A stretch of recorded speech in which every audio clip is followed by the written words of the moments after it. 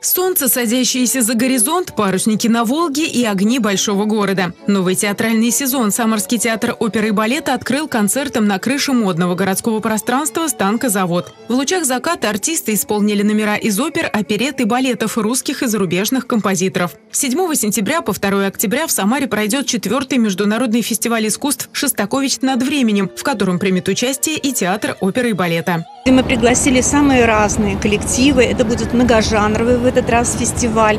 Ну, конечно, основную его часть займет музыка и, конечно, произведение Дмитрия Дмитриевича.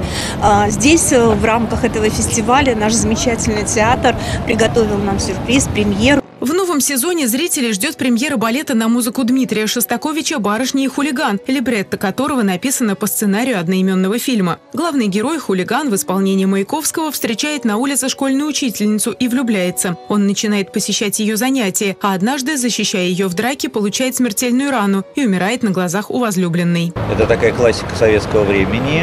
Балет был очень популярен, поставлен был в 1962 году.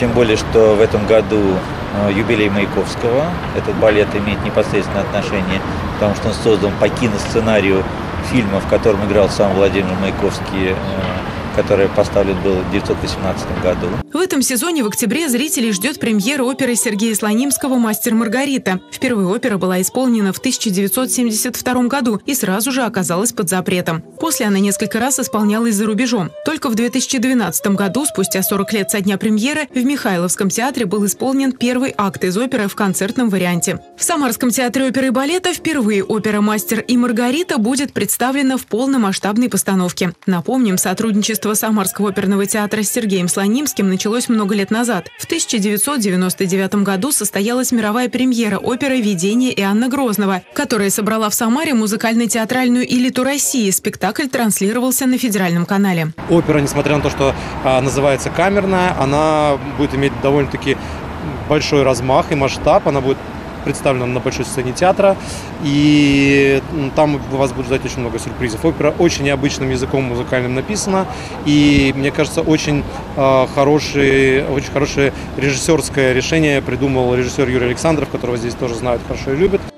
Театральном сезоне артисты Самарского театра оперы и балета отправятся на гастроли. В ноябре балетная труппа побывает в Санкт-Петербурге, а в декабре состоятся гастроли в Минск, где на сцене Большого театра Республики Беларусь самарские артисты покажут оперу «Любовь к трем апельсинам» в рамках рождественского форума. Это самый престижный оперный фестиваль в Беларуси. Виктория Шарая, Константин Головин. События.